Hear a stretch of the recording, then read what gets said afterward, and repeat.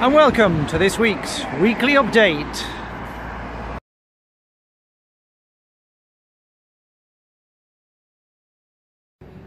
Now, this holiday is starting to be different.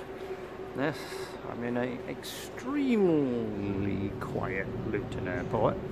Um, but I'm not flying from here because they cancelled the flight to Tenerife, so we're having to go tomorrow from Gatwick, hopefully, if the Spanish state of emergency because of coronavirus uh, doesn't put pay to that one. So, will I get to Tenerife? No, we didn't make it. To, we didn't make it to Tenerife. We made it to another place beginning with T. Torquay, which does also have palm trees. Look, there's a palm tree. Yes. So off we go to Torquay, twinned with Tenerife.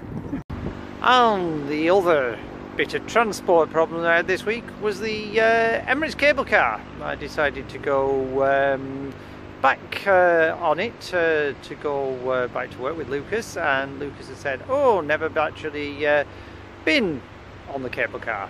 So we got on, and then uh, halfway along, um, it was hit by a big squall, and the cabins were going backwards and forwards like that. At one point, I thought we were going to hit one of the stanchions. Um, Lucas wasn't overly impressed by it, but it was a very eventful trip for him. So, um, until next week, goodbye.